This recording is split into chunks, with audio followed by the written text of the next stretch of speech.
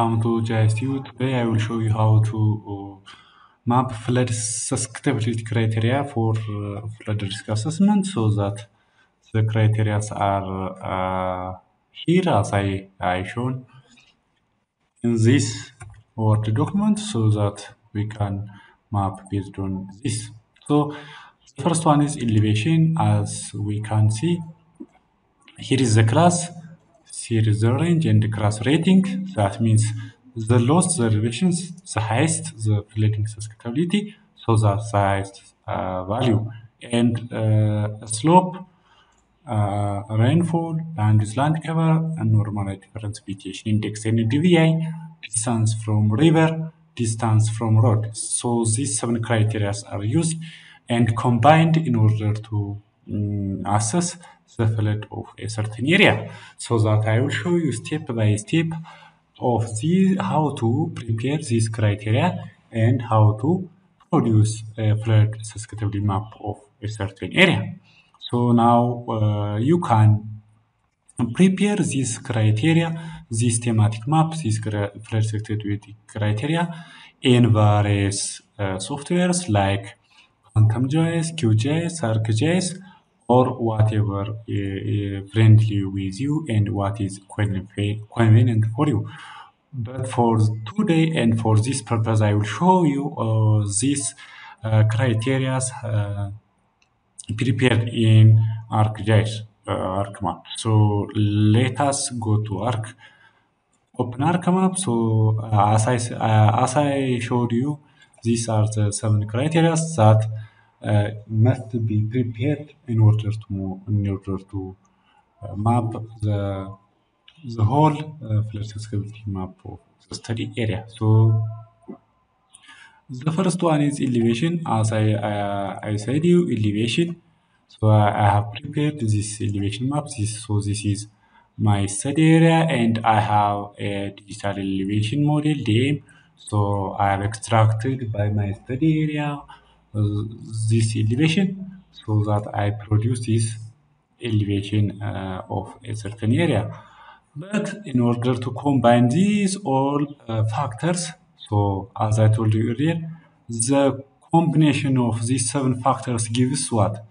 This gives the flood susceptibility criteria combined and gives the uh, flood susceptibility map of a certain area so that uh, in order to prepare the first thing is preparing each each uh, theme, each criteria for uh, assigned weights. So for example as i showed you elevation this out of this. So the, the lowest elevation the highest susceptibility to flood and the highest elevation the lowest susceptibility to flooding. So we have to reclassify this elevation map into into uh, this criteria weight. Then go to Arc Toolbox, then go to Spatial Analyst, then go to Reclass and go again to reclassify. So the input raster must be the elevation data. So click this one and select elevation.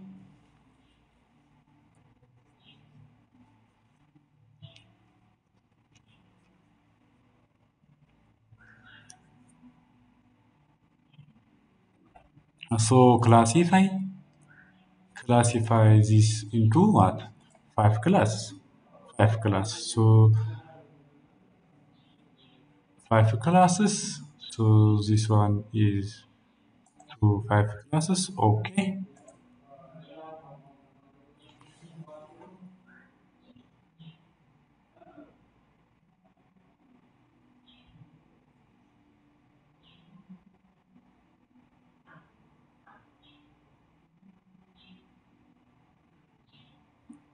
So this is, let us rename this as elevation, elevation, and let us remove this, the original one. So this is elevation, uh, elevation increase, uh, this is the lowest elevation and highest elevation respectively. We can check this elevation by double clicking on the data. So that go to symbology, so that go to stretch. So this one to one to five. So we can uh, check uh, just like this one, just like this one. The second one is the second parameter is uh, we have to uh, by this one slope. So slope means the the the low percent indicates very high to susceptibility to, to flood and the highest percentage of slope is low to uh, susceptibility to, flood. That is with direct relation to elevation. Let us reclass slope. Let us reclass slope. So i have prepared this slope. By the way this slope is derived from elevation. So that what I, uh, I am going to do is uh, reclass, double click on the slope. So go to again, reclassify, go to slope, select slope. Yes, classify, classify into 5. Why, why we classify into 5? Because our rating starts from 1 to uh, 5. So the final output of the map uh, susceptibility to or flood risk assessment ranges from 1 to 5, which is very low to very high risk areas of the classification system. So we have uh, that is why we are uh, going to reclassify into 5 into 5. So reclassify, okay.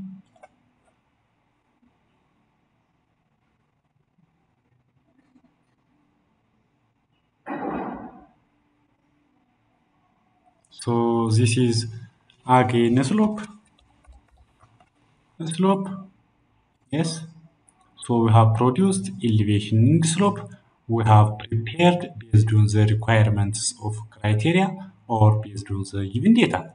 So let me remove this one. The third one is from my data rainfall. Uh, the lowest amount of rainfall is directly uh, relation directly proportional to flood. That means when there is high amount of uh, rainfall, there is high uh, there is a, risk of flood occurring. So now let me go to rainfall. Okay, great. So rainfall is the third criteria. The third criteria. By the way, how to how uh, you can get this uh, rainfall either from rain gauge stations. When you get rain gauge stations, the value from rain gauge stations, then you need to interpolate or Kriging, Kriging in order to get the spatial coverage of your study area, or uh, you can download from raster data or from uh, continuous uh, variable from the sites. So I will give you the link to refer how to download rainfall data freely and how to interpolate from the given tabular data in your own. So you can check the link in the description below. So let me uh, go to the same again reclassify, then go to uh, select rainfall. So classify, so classify into five. So from the lowest to the highest millimeters, uh, this is millimeters of rainfall. So let me reclass rainfall again.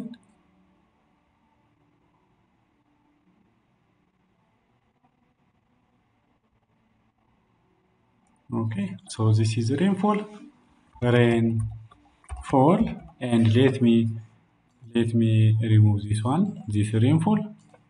Yes. So we have prepared now rainfall, slope, elevation.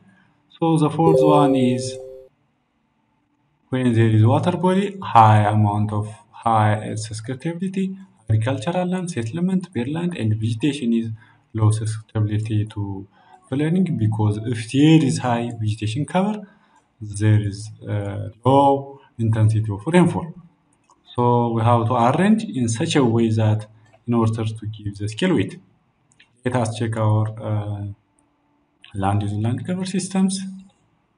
So land is land cover, agriculture, bare land, uh, settlement. So reclassify.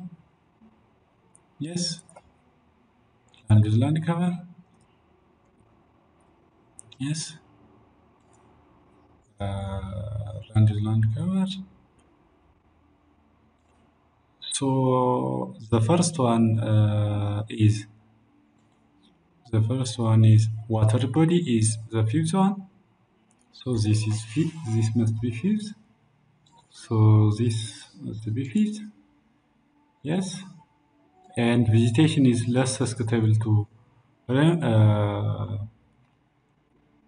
flood. So this is used to one. Okay, great. So the third one is the third one is settlement. So settlement is the third one by susceptibility. Yes, agriculture is the fourth one. Yes.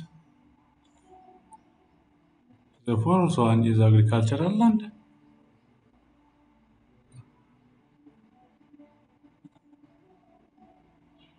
So bare land is what's left is bare land. Bare land two. Okay, great. Very class.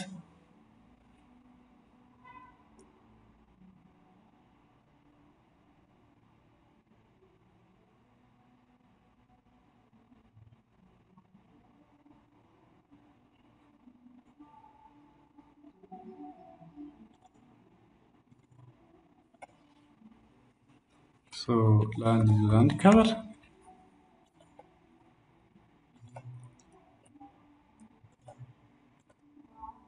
So the fourth one is that fourth criteria is NDVI. NDVI. NDVI. So NDVI starts from this one to this one. So this must be also reclassify.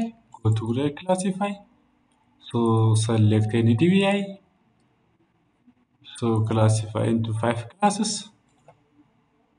Okay, great. Okay.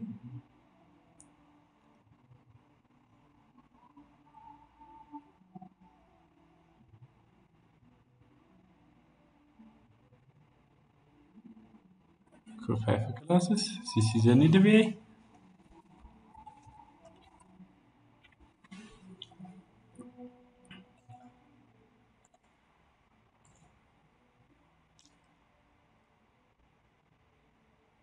Let me remove this one because it is duplicated. So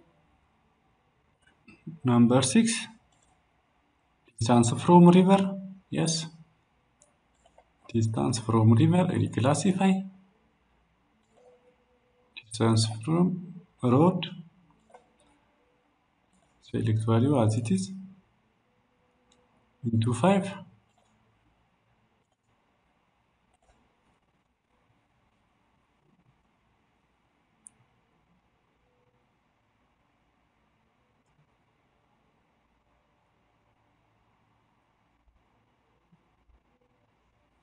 Okay, great. Road. Road.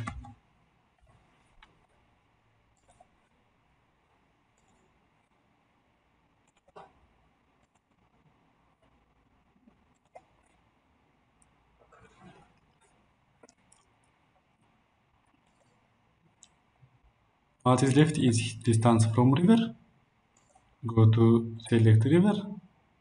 Yes. This as it is. Classify into five. Five classes. Okay, great. Okay. Okay. Okay.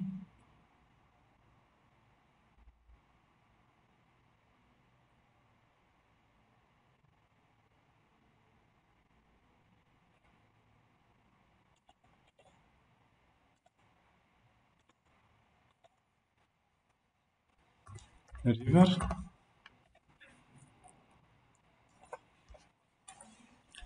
So we have prepared these criteria. So make sure that each raster map must be the same resolution and the same projection, the same projection. So the final methodology we are going to apply is, that weighted overlay. In order to apply, in order to combine in weighted overlay, we have to determine the weights of each parameters in weighted overlay. So for, from seven parameters or from seven criteria, which one gets the highest amount, which means that each seven criteria must be uh, the, the sum of each criteria must be 100. So from 100, which one uh, gets the upper value or which one gets uh, the highest value? Okay, great. So uh, in order to know the sum of influences, we have uh, there is a methodology which is uh, criteria AHP approach. This is analytical hierarchy approach, which means comparing each values towards comparing each values uh, one another. Okay, one another. So this is the criteria weight. We have to write. We have to select uh, from each criteria. So based on this, we will uh, produce. We will produce uh, criteria weight and combined in weighted overlay to produce uh, flood map of uh, the study area. So I will show the comprehensive output and the method, the method how to produce using uh, analytical hierarchy process. This is demonstrated in multi-criteria decision-making analysis. So I will show you in the second part. But for today, this is uh, what I wanted to show. If you are new to this YouTube channel, please like and subscribe. Thank you for watching.